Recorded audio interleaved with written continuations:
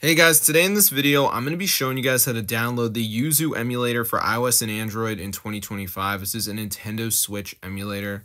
So what you want to do guys is go ahead and go over to this website. It's called zoomods.com and they have a ton of modded apps.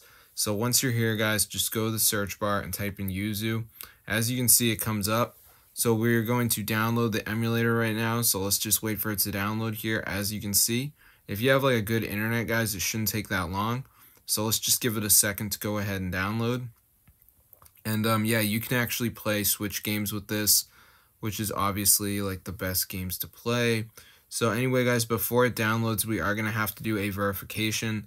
Uh, this is just where we have to download two apps to complete the instructions. They're from the App Store and they're completely free. So as you can see, it says Yuzu Emulator Mod Installer. Please install two apps. So it says right there, additional files are required. So the thing is, you need to read the instructions. So Dice Dream says down install complete Kingdom level 6. Uh, Family Island says down to complete level 10. So as long as you read the instructions and download the apps, you will get your Yuzu emulator. So make sure you read the instructions because some people download the apps but they don't read the instructions. So I did Family Island where I have to reach level 10 guys, so that is super easy.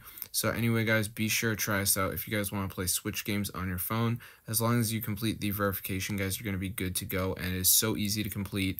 I literally just had to download two apps and it's a one-time thing. And down here you can see it actually says checking completion, so it is making sure that you are doing the verification correctly. So that means that if you do complete the verification, it will know and it will download the Yuzu emulator into your device. So I'm going to see you guys in another video.